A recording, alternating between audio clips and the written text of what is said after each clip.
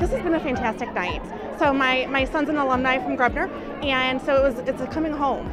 Anytime our buildings have a 50th anniversary, it's an incredible time for us to bring our community back. So the immediate community, our alumni, um, our students, our parents, our staff members, um, just to celebrate everything that we've accomplished over the past 50 years.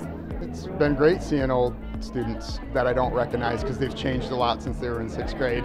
And they say, Do you remember me? I'm like, No, give me a name. But I got yearbooks out and t shirts, and they're enjoying looking at those. It's very nice that we have the community support to see as many people as we did out here. It's, it's special. Uh, you know, the staff members here at Graebner have been excellent for years. They've done so many things, not only during their day, but you could see that tonight. We really, really love seeing the emphasis around people and community, either from delivering food to our family and our community members in the cafeteria, or they were in classrooms showing the projects, showing the great things that they're offering each and every day, or they were just taking people on tours and really sharing with them the rich tradition of excellence here at Graebner. Uh, watching the kids in the cafeteria, looking at the old pictures of administrators and teachers and just community members and all the great learning that's taken place over the years.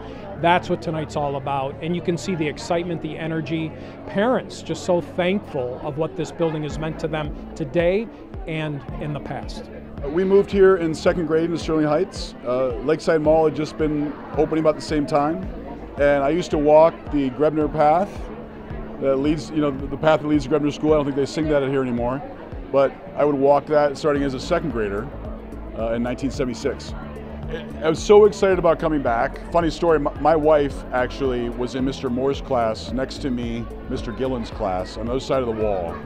I didn't really meet her till I was in 11th grade and she was in 10th grade. Now we're celebrating next month our 29th wedding anniversary. The opportunity to come back here and just see the teachers kind of reconnect in this moment whether it's students I went to school with or teachers. I saw Mr. Tibor, Mr. Hines, just one big circle for me. It's amazing.